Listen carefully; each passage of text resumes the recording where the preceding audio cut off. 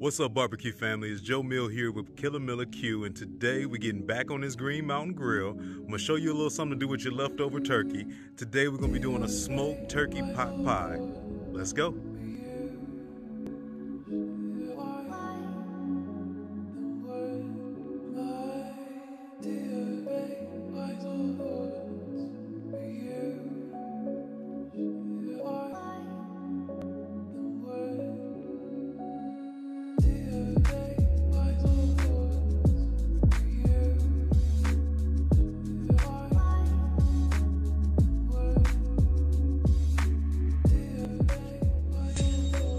Right, cut the music. You know what time it is. Let's put together this nice and savory Cajun smoke pot pie. You are looking at the ingredients. I went with an easy route today. I thought about turning it up like normal and uh, really doing everything homemade. Maybe we'll do that next time. But I figured let me grab some things. I know everybody after Thanksgiving, you've been cooking all of this time. You probably don't want to have to put in too too much work, and you're looking to be able to get there and put this uh, leftovers to bed. So pretty much these are the ingredients we're gonna be using. I got about three uh, cloves of garlic, about three fourths of a yellow onion a nice little pinch of and a dash of salt and pepper. We got some uh, fresh parsley that's going to be going in as well as a little bit on top for garnish. I'm going the easy route yet again to get us nice and creamy on the inside. Now you can pretty much go with any cream you want. I'm going to be using cream of onion today. We'll be using a little bit of that chicken broth. I usually like to go with a little bit less sodium just since it, uh, you know, you don't want it to be too salty and that way I can kind of adjust the salt to my own flavor taste. Obviously, I went with the pie crust instead of making my own. Something nice and easy that you can go grab at your local grocery store. These usually come out great, so don't even worry about it. Good old fashioned cast iron skillet. We'll make sure we got that nice and oiled up with a little olive oil. Come with a little butter over the top of that. And then the star of the show is that Cajun turkey. If you didn't see last week's video, I'm gonna make sure I put a link to that up top so you can see how we got to that. We are looking at a little over two pounds of uh a little bit of mostly uh, dark and a little bit of white meat that's in there, just kind of just all broken up, no skin. And uh, let me get to it. All right, so let's get this thing started. First things first, I got my oil pan, got a couple pats of butter, about three tablespoons. We're gonna get that going on medium heat. Take out those pie crusts. We wanna get them coming up to room temp. They was in the refrigerator. They probably only gonna take about 10 minutes or so. Already got the grill coming up to temp. And basically what we're about to be doing is we're going to be sauteing these onions. So we're going to get them out and in here and I'm going to let them go for a while. And with this wooden spoon, I'm just going to keep it moving. We want these to get nice and soft. But before they get there, after we give them about, I don't know, four minutes moving them around over this medium heat, you should smell them getting nice and fragrant pretty quick after the first couple minutes. We're gonna come with that garlic over the top for a quick second. We don't want that to go too long so we don't burn that. And then after about that four minute mark, they're not quite translucent, but you can see they're starting to brown a little bit. Still smelling great. Now we're gonna come in with these three cloves of garlic and move that around. And this won't take long. I tell you, it's amazing. A little butter, a little bit of onions, a little bit of garlic. As soon as that becomes fragrant, that garlic only needs about a minute. Keep it moving so it doesn't burn up. So that's ready to go. Forgot to show y'all one of my, one of the key ingredients. You gotta have that bag of frozen vegetables. Some people just go with uh, straight peas and maybe peas and carrots. I like getting the uh, mixed vegetables. I like my green beans in there and everything too. So now we're just gonna kind of mix that around. And this won't take long. Oops, pardon my view. I work with two hands. So I'm gonna move this around just a little bit and get everything nice and coated. Looking good, smelling good. Next thing we're gonna do is come with that chicken. Like I said, we got a little over two pounds. Now I'm gonna mix that all around in there. Or excuse me, two cups. Mix that all in there, get everything nice and incorporated. Yes, yes, let me get you in there close. Now you starting to smell that Cajun come up out of there. That garlic is kicking, the onions, that butter. Keep in mind when you move this, you don't want to tear up all your vegetables. Get up under there, we just flip it over, okay? That's how we're gonna mix this up. So now that we got everything nice and incorporated, we coming with some of the cream of onion. Remember, you can do cream of mushroom if that's what you like. Cream of chicken, any cream you want. Obviously, we could have made some from scratch, but we're gonna start here. It'll be nice and creamy. Let's mix this up. All right, so it should look something like that. Now keep in mind, this is all to the eye. So one thing I know is I'm not creamy enough, but I can smell and starting to see that some of that's starting to touch and catch a little bit on the bottom. So we're gonna add a little bit of that chicken broth. I don't want to get it too watery. But uh, all of these vegetables and this other uh, can of soup is going to soak that right up. So now let's mix that up. All right, it's starting to come together nice. So now we're coming with our other can of this cream of onion. And these are the smaller cans. So, I mean, if you use one big one, ugh, you'd probably be good. This is just a little, um, where we got? A little 10 and a half ounce. I know a lot of times, yeah, go ahead and focus in on that. A lot of times you might see the 14. Yeah, it doesn't want to give you a focus, but uh, trust me on that one. That's a smaller can. I'm gonna mix this up and we'll see if we need to add a little bit more broth. All right, we looking nice and creamy. This isn't too, too bad. I'm gonna add just a little bit more of the uh, chicken broth, mainly because, you know, this still gotta cook down a little bit, so I don't want it to be too dried out, but I do want mine nice and creamy because I hate mine to be runny, but uh, I like being able to see that right? We got nice sticky consistency, so just a little bit more. We mix that all in there, we should be good to go. And we can go ahead and cut that heat. I almost forgot, before we cut that heat, let's mix in that little pinch that we had of that salt and pepper, as well as a little bit of parsley that we adding in. This is purely to your own liking, but I like a little green in there. Now let's mix this up and we'll cut that heat finished product that's ready to go. So at this point, you want to taste this. See if it's where you want it to be. Hopefully it should be around a little more runny than you want it to be when it's done. But remember, it's not going to cook that long. We just browning up some uh, pastry at this point. And this is all cooked stuff for the most part too. So this won't take too long at all. So taste it. As long as you up the flavor. My salt and pepper was all right. If anything, I might add a little bit of Cajun to this just to add on a little bit more of that Cajun flavor. But more than likely, I'm going to go ahead and leave it alone. Take this, put it to the side. We want this to kind of cool down a little bit. And now let's get over here and work on this crust. Hey team, I want to jump in here real quick and let you know thanks for following along on today's cooking. If you are new to the channel, go to that bottom right corner, take a second, subscribe, check out some of the other videos that you've missed. And for everybody else that's been here, make sure that you follow me on IG, Facebook, I'm trying to get to TikTok and anywhere else you see me, come find me and let's get back to the work. All right, so while that's hanging out, pit's already coming up to, uh, to temp. You know we got the Green Mountain out there with them Costco pellets blowing. Pretty much, I did end up hitting it with just a little bit more of this Cajun uh, rub from uh, rib rack, same thing I used on that turkey. Um, again, make sure you check out that video if you haven't. Now we're going to get into these pie crusts. They've been sitting out probably a good 15 minutes, so they've unthawed. I already got one that's here.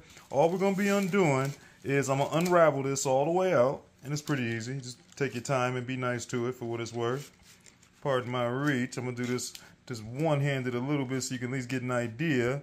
You're to open that all the way up. And then I'm to be laying that right over the top of this uh, skillet here that's already uh, oiled up. So I got it halfway on. I want to show you a little technique of what I do. Obviously, you can put this thing out flat, get your rolling pin, add a little bit of extra flour, and roll this out to be a little bit bigger. Basically, I want it to basically come up basically to the top. I mean, it could have a little overhang, which would be nice, but I'm okay if it at least comes up to the top. You see where I pretty much stopped? All I end up doing is I pull it tight, and then I just push it down lightly, and it'll stretch on its own. And from there, I can get it up to where I want it to be, start to get this flat, and we're to work this all the way around until I get all the way back through. And we should look something like that. So we pulled it up just about to the edge, maybe a little overhang. And then uh, make sure you push down in these corners so that you don't have that lip down there. Now pretty much all I'm to do is come through. Give me some holes in here to help it uh, cook all the way through. It's just a little tip to get you some nice and crispy crust at the bottom. A lot of times people wonder why they got the soggy crust, but we got to cook this a little bit before we get everything in there. That's going to end up making it more soggy. And then, nothing too crazy. All right, that's good enough. Next thing that we're gonna do is we got like another tablespoon of that butter that we melted. And we're just gonna take a quick second to brush this all down on the inside. All the way around. Give it a little color. Get some more of that buttery flavor on the inside. We already got the uh, Green Mountain up to temp at 350. I'm gonna finish this out and we'll be meeting you out there and we'll throw it on for 10 minutes. All right, all right, looking good, nice and buttery. We at 350, chilling. Let's get this Green Mountain open. 10 minutes, nothing crazy. All right, 10 minutes later, got that in. You can see why we put them holes in. You can still see those little bubbles like to creep up. A couple little areas that slid down. Not too big of a deal. I'm not too too worried about it. But um, definitely, if you want to go ahead and, like I said, roll out that bottom crust, you have a little bit more fold over in the end or in the beginning, and um, that probably wouldn't happen so much. So next thing we're gonna do is go ahead and add in the filling. There we go. So we got that in, patted it nice and flat. Remember, you don't want that to be any taller than your actual rim of your pan.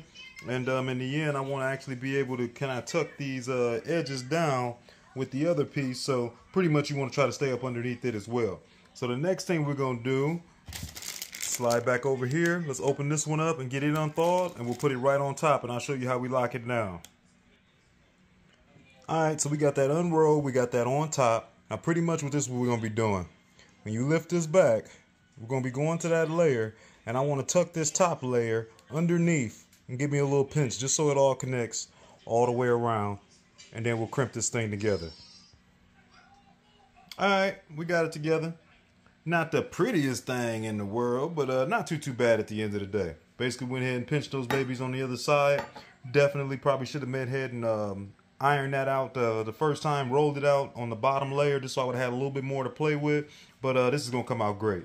This is what we need to do next. We got it on top. We got everything all pinched and locked together. Uh, a couple last things. We want to cut some air slits in there. So I'm just going to make kind of a star um, just to kind of let this thing breathe a little bit. We got one egg that we went ahead and uh, blended up pretty well. And we'll be giving it a little egg wash and wiping it down. And then we'll get it with a little bit of finishing touch with a little bit of sea salt on top. And we'll be ready to go ahead and throw it right onto the smoker. All right, this baby will be glistening. That egg wash will help it give it some beautiful color. Keep it nice and moist. Give it that little bit of shine at the end. The last thing that I want to do, since we're doing a nice and savory Cajun style turkey pot pie, is we're going to hit it with just a little bit of that sea salt on top. And this is all ready to go. All right, so we got this baby out here. We still at 350. Uh, let's get this open. Thing don't look that bad. I mean, I ain't no baker or nothing, but hey. It's gonna be all right. Sit that right over there. You see we got those slits in there so we can breathe a little bit. That nice egg wash on there. All right, this should take roughly eh, 20 minutes or so. We really just browning off the top, but uh, we'll come back and check it out. All right, I've been peeking at it a little bit. We're about 21 minutes in. Getting close, almost there. Brown it up nicely. I'm gonna give it a rotation. All right, we at 37 minutes All right, we getting there. We starting to get some brownness.